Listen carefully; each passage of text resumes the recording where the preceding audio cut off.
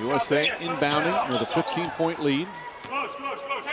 That last foul, not in the act of shooting, so Payton setting it up.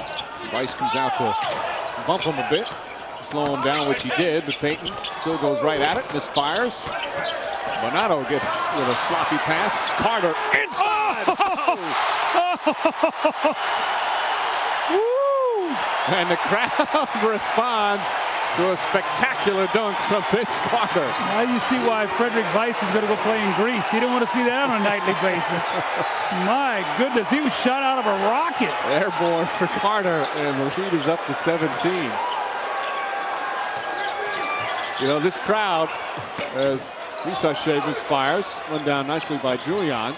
Ball knocked out of bounds. This crowd likes to root against the United States because the overwhelming favorite, but they love when this stuff happens. That's why I said now a smile and the energy and the crowd eat out of the palm of your hand. I mean, they just want to love Vince Carter here. This guy has so much talent.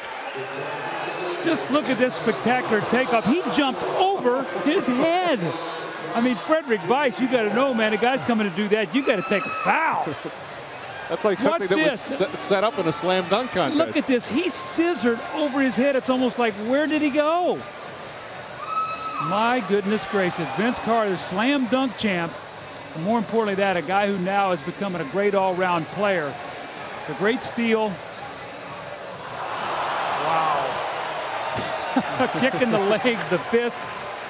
Oh, man. They've shown replays here at the Dome and the crowd still oohing and awing as Vince Carter got them fired up in a 17-point lead for the United States.